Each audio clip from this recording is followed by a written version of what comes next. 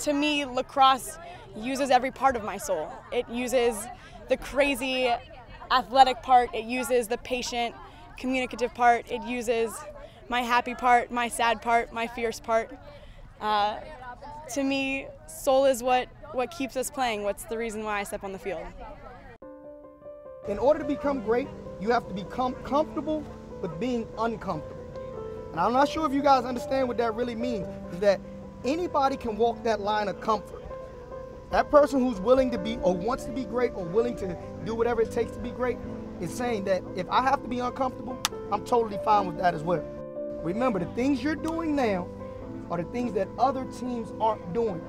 And that's what's gonna make you better than them. Ask yourself, what am I doing today that's gonna make me better than that other person tomorrow?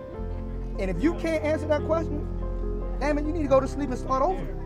Because you got to do something to make you better every day. 1% better every day guarantees you success in life.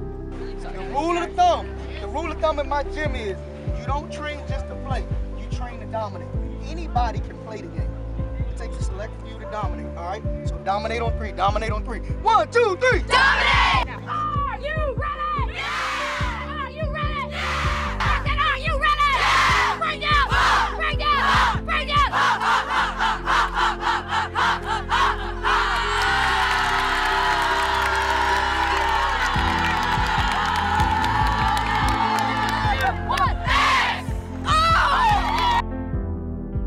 Have three sort of archetypes that we think each girl's made up of.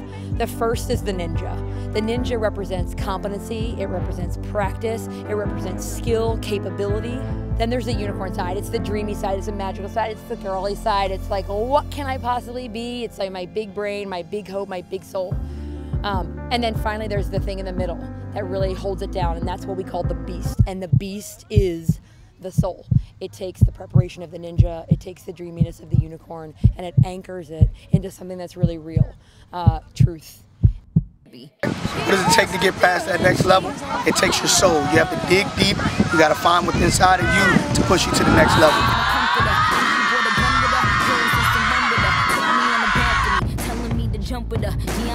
Every day you gotta wake up and dare to be great.